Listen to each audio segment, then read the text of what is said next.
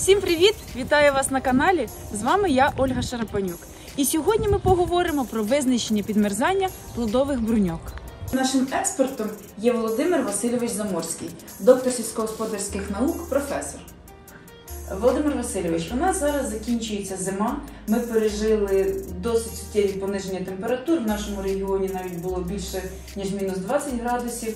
Розкажіть, будь ласка, як нам визначити ступінь підмерзання генеративних бруньок плодових? Питання надзвичайно актуальне, тому що від е, е, ступеня підмерзання залежить в цілому наступна продуктивність плодових культур протягом вегетації.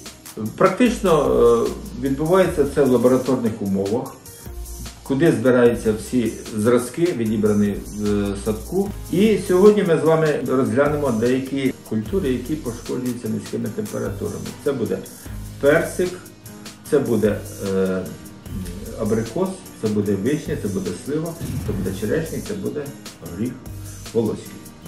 Як відбувається безпосередньо? Відбувається проведення зрізу тонкого з допомогою опасної бритви, поперечного зрізу, який е, проходить через середину бруньки. Після цього цей зріз поміщується під спеціальний фіксуючий мікроскоп, який виводиться на комп'ютерний екран. Знімок збільшений декілька разів, декілька десятків разів, можна до сотні разів, де зображена, наприклад, в даному випадку генеративна брунька персика. Як ми бачимо, е, колір основи бруньки, колір е, зародки майбутніх тичинки, е, е, маточки, ось тичинки, він е, світло-зелений, тобто це нормальний колір. Якщо по краям ми бачимо коричневі тона, то це значить, що в результаті низьких температур відбулося підмерзання деяких шарів генеративної бруньки. В даному випадку брунька ідеальна, вона не підмерзла і пошкодження низькими температурами відсутнє. Наступна плодова порода, досить е, часто, яка пошкоджується низькими температурами, це абрикос. Проводимо зріз бруньки абрикосу. І виставляємо під мікроскоп.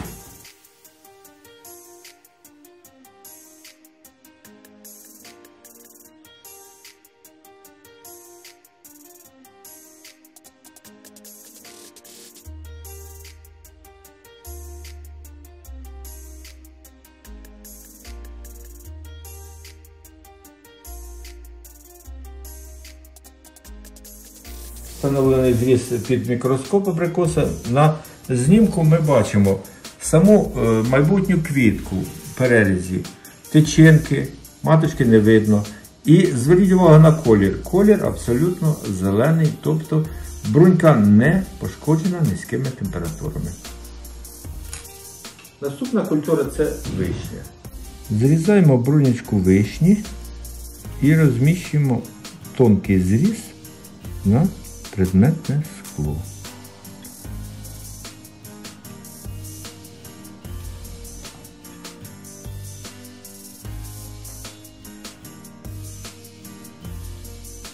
Розмістивши зріз бруньки вишні, ми бачимо, що вершина бруньки абсолютно пошкоджена низькими температурами.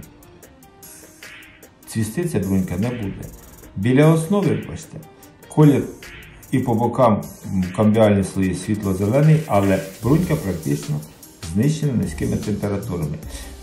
Також ми бачимо на екрані, примістивши, що низ або провідна система бруньки, по якій рухається вода до і розчинні мінеральні речовини до верхівки бруньки, також пошкоджена.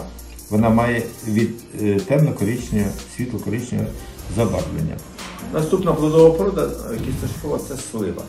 Ми проводимо зріз бокової бруньки сливи і також розміщуємо її на екран на предметне скло. Нашого мікроскопу.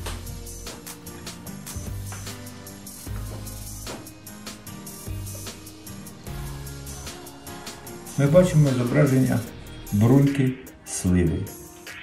і зініціював, що основа підмерзла. Тобто провідні е, елементи мікро і вода будуть поступати до майбутніх е, зародків.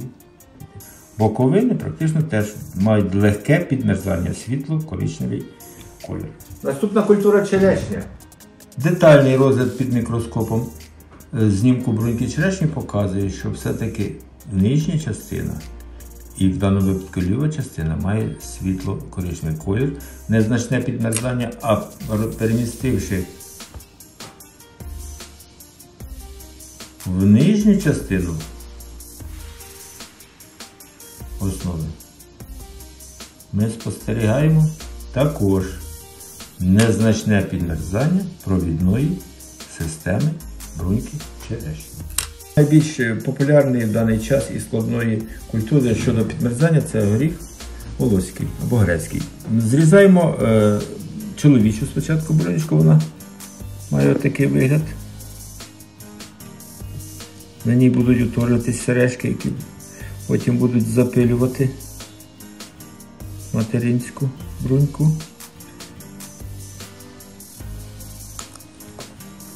Розміщуємо на предметне скло.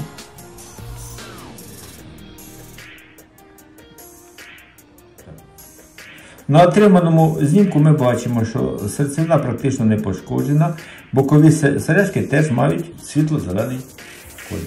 Переходимо до верхівкової материнської бруньки, зрізаємо її посередині.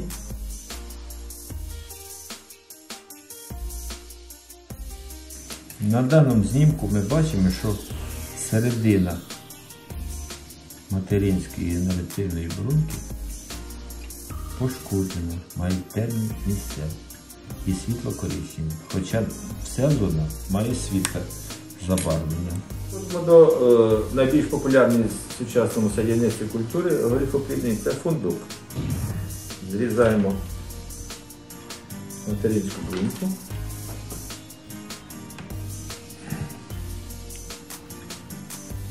Провідна система не пошкоджена, пагана.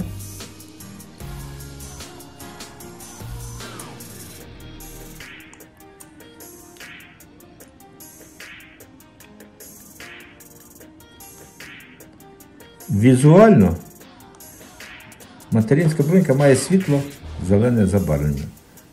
Зараз подивимося під мікроскопом більш детально.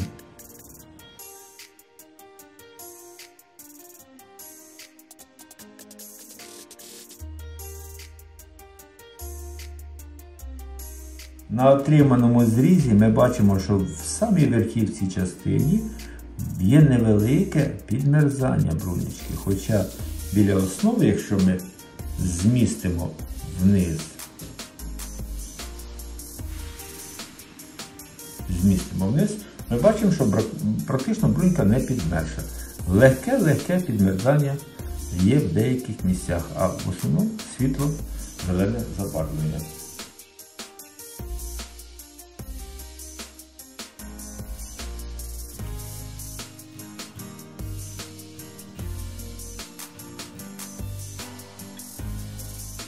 В результаті отриманого зрізу ми бачимо, що сережка має майбутні течінки, ось з яких буде пилок виділятися з обох сторін. Вони абсолютно е, мають е, нормальне світло-зелене забарвлення, не пошкоджені морозом. Було б дивно, вони дуже рідко пошкоджуються морозом. Володимир Васильович, ми з вами розглянули близько 10 бруньок. Скажіть, будь ласка, який можна зробити висновок? Попередній висновок в результаті проведених досліджень е, і культур показав, що ви бачили, вишня здивувало, що вона дещо підмерзли бруньки. І е, деякі підмерзання ми спостерігали від бруньок. В цілому стан задовільний цих і культур. Підмерзання сильно не виявлено. А горіхоплідні, як ми можемо оцінити? І очікувано Волоський горіх показав деяке підмерзання. Дякую всім за перегляд. Ставте лайки, пишіть коментарі та підписуйтесь на канал.